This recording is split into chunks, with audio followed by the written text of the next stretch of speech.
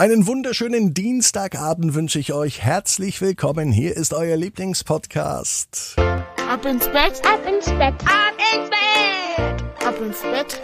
Der Kinderpodcast. Hier ist Ab ins Bett mit der 749. Gute Nacht Geschichte.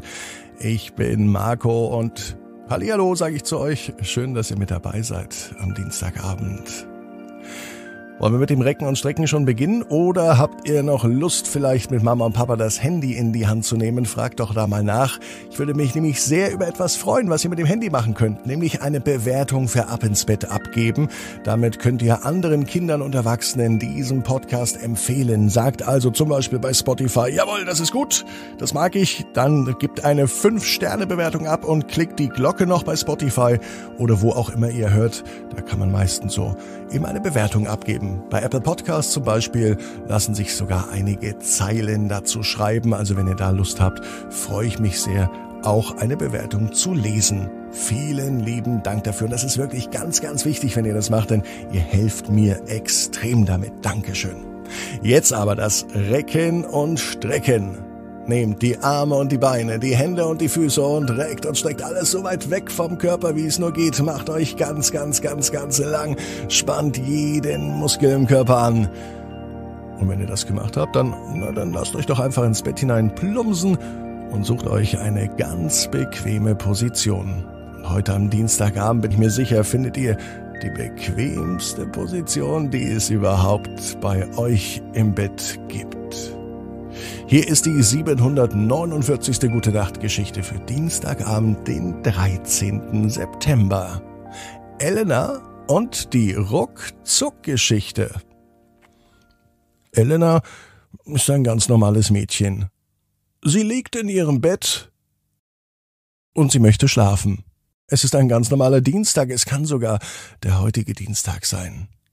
Wir hören mal rein bei Elena in ihrem Kinderzimmer. Ich will nicht schlafen. Ich will nicht schlafen. Ich will wach bleiben, sagt sie zu ihrer Mama. Aber warum denn, Elena? fragt die Mama. Weil ich heute noch etwas tun möchte. Ich möchte mein Hörbuch noch zu Ende hören. Heute war Elena mit ihrer Mama nämlich in der Bibliothek. Dort leiht sie sich Bücher aus. Und auch Hörbücher. Elena liebt es, mit Hörbüchern einzuschlafen.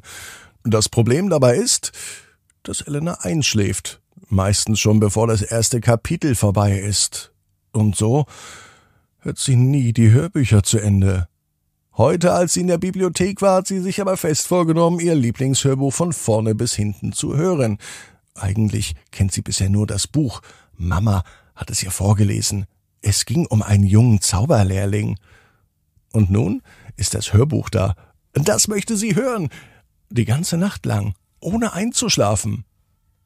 Elenas Mama versuchte zu erklären, dass das nicht geht, denn das Hörbuch geht schrecklich lang und außerdem ist das nicht das Richtige zum Einschlafen.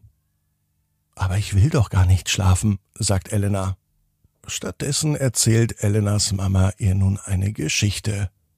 Eine gute Nachtgeschichte. Doch einschlafen mag Elena nicht.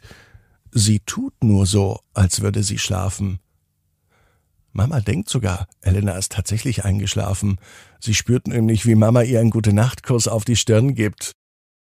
Still und heimlich und ganz, ganz leise macht sie nun das Hörspiel an. Vom jungen Zauberlehrling und seinen Freunden. Doch irgendwie klingt das Hörspiel ganz anders, als es sich Elena vorgestellt hat. Das Hörspiel beginnt, doch sie hört nicht die Geschichte vom Zauberlehrling. Sie hört nur Eins, zwei, drei. Die gute Nachtgeschichte ist vorbei. Was ist denn das? denkt sich Elena. Wie soll sie da einschlafen? Vielleicht kommt ja als nächstes die gute Nachtgeschichte. Sie drückt auf den Knopf an ihrem CD-Player. Das nächste Kapitel sollte nun starten. Und wieder ertönt aus ihrem CD-Player Vier, fünf, sechs, schlafen heißt es jetzt. Doch von Müdigkeit kann Elena nicht sagen, sie will jetzt ihr Hörspiel hören. Sie drückt nun den Knopf, um das nächste Kapitel auf der CD zu hören. Sieben, acht, neun, das Schlafen wirst du nicht bereuen. Elena wird langsam richtig sauer anstatt müde. Sie schaltet den Knopf weiter.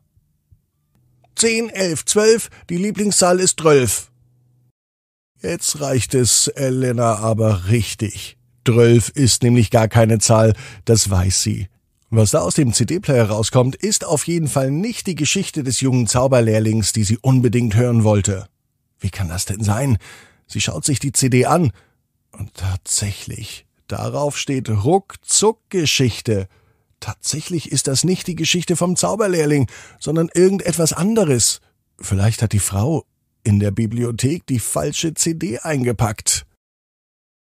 Das findet Elena nicht gut. Sie will doch ihren Zauberlehrling hören. Jetzt, hier, sofort. Und sie möchte nicht bis morgen warten oder übermorgen oder nächsten Dienstag, wenn sie das nächste Mal in die Bibliothek gehen. Die Ruckzuck-Geschichte, das ist doch ein großer Quatsch, meinte Elena. Sie legt sich nun hin und schaltet dennoch den CD-Player noch einmal ein. Wer weiß, was da noch kommt. Doch die CD mit den Ruckzuck-Geschichten scheint vorbei zu sein. Es kommt nichts mehr. Doch auf einmal schreckt Elena auf, denn aus dem CD-Player kommt doch noch einmal eine Ansage. Achtung, du bist bis hier gekommen, bis zum geheimen Ende. Die Ruckzuck-Geschichten, die sind nun vorbei. Doch Achtung, jetzt wird es hier noch viel flotter. Hier ist nämlich dein Zauberlehrling Harry Potter. Elena kann es nicht fassen. Ganz am Ende der CD kommt nun das geliebte Hörspiel, auf das sie schon so lange gewartet hat. Doch mittlerweile ist Elena so müde, dass sie trotz lauter Aufregung sich hinlegt, die Augen zumacht und einschläft noch bevor der Zauberlehrling in der Zauberschule ankommt. Und Elena weiß genau wie du, jeder Traum kann in Erfüllung gehen. Du musst nur ganz fest dran glauben. Und jetzt heißt's, ab ins Bett, träum was Schönes. Bis morgen, 18 Uhr, ab ins Bett.net.